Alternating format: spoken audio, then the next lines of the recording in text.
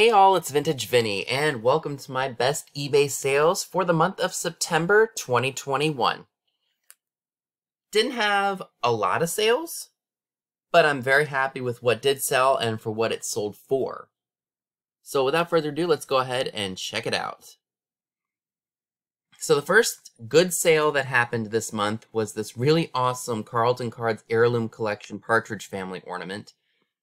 What it does is it it's an ornament, obviously, and you push the door of the bus and it plays the Partridge Family theme song.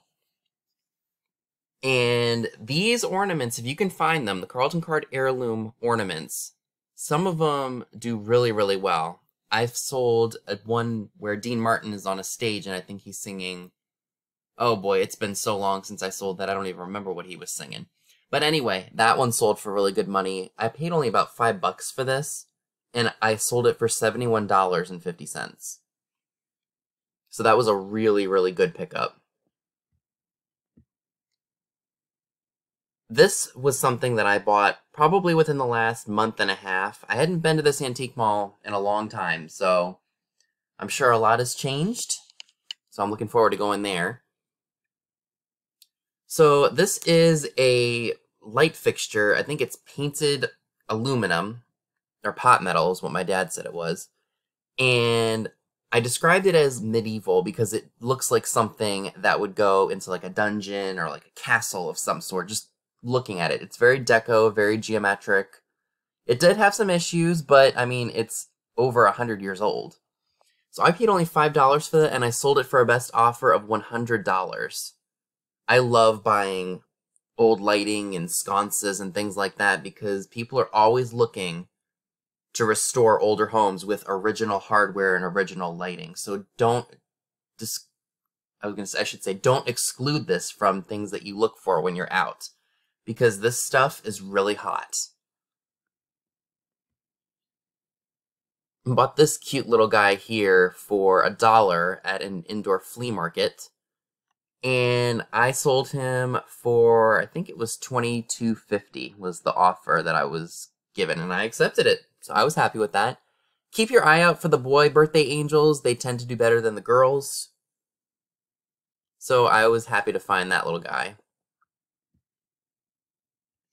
Picked this guy up for about $30. It's a Sony Walkman. It's brand new in the packaging. And I yeah, like I said, I paid about 30 and I sold it for a best offer of $189.99 and that actually went overseas. Picked these up at an antique mall. I paid 250 for the six of them and I sold them for $24.99 with buyer paying shipping.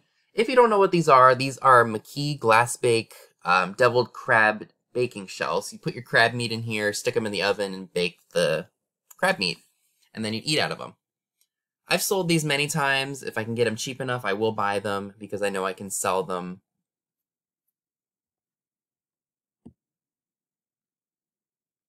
So this is something that completely shocked me. Uh, this is a Mason's Ironstone Christmas Village Ramekin. I was just cruising a Goodwill and I just spotted it and something about it to me just said, you know, this looks really interesting. Why don't you look it up? Here's the marking on it, by the way. And I looked it up, and some of the pieces were going for really good money. So I guess this must be a very collectible line. And a lot of the listings were for, um, were actually over in England. So maybe this just came over with someone from England, and then, you know, things happen, or, you know, whatever the case may be. It ended up at the Goodwill I was at and I paid only 99 cents for it, and I actually sold this ramekin for what you see right here, $29.99. This ramekin, this one dish, I sold for $30. And what was nice about it is I could get it to go in a first class, like a, a small, like 6 by 6 by 6 box, and was able to send it first class, so somebody didn't have to pay a whole lot of money to get that shipped to them. But yeah, keep your eyes out for that line. Mason's Christmas Village Ironstone. Some of that those pieces go for pretty darn good money. Another thing you should be on the lookout for are products that are not available anymore for people, like these Gillette Sensor Excel razors for women. I paid about 375 for these. I did list them for about 50 and because I invested so little into them, I took the $29 best offer without hesitation.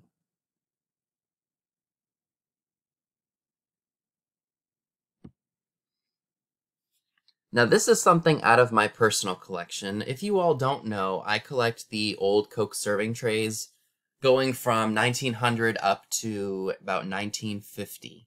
57 is the latest I go with those.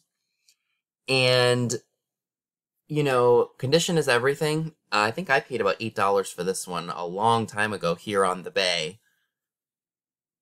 And, you know, I sold it for a fair price because it is not perfect I think I had it up for maybe 55 or something like that, and then I took a best offer of 45 because as you can see, it does have some issues, but you know what?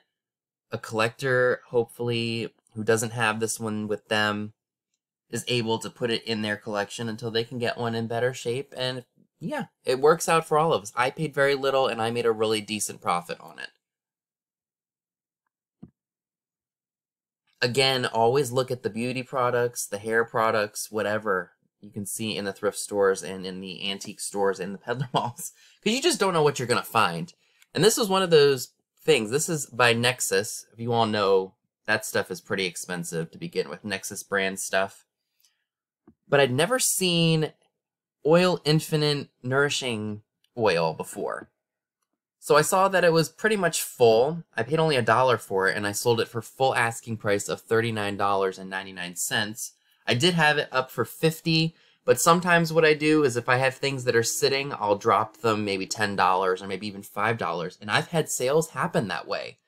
If you have watchers on stuff and you drop the price down a little bit, I've had people claim them almost instantly. Not all the time, but it does happen.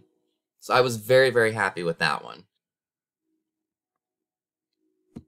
And the last thing that I would like to share with you all that sold for pretty decent money is this 20s, 30s painted brass flush mount light fixture. I did pay about, what was it, like $11 for this at an antique store.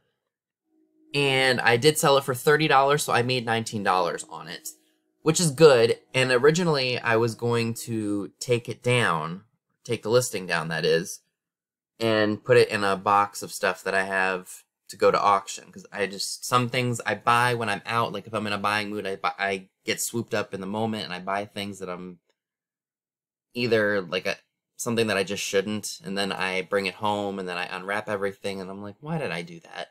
As we all do. But yeah. So this was something I was going to take down and then I had someone message me. They asked me a few questions about it. I did what I could on my part with those questions. I answered them and then, you know, someone just bought it. They paid the full price of 30 bucks. So that was a really good turn of events there. So those are my best sales for the month. Let me know down below what do you what was your favorite item that I sold and what have you been selling on eBay? I'd love to know. So that's all I have for you today. Be sure and give this video a big thumbs up, leave a comment below, subscribe if you haven't already. Be sure and click the bell next to the subscribe button if you'd like to get notified when new videos are uploaded. Be sure and check me out on Instagram, the link to it is down below as well, where you will see pictures of items to come in future haul videos. Thanks so much for watching, and I'll see you all soon. Bye guys!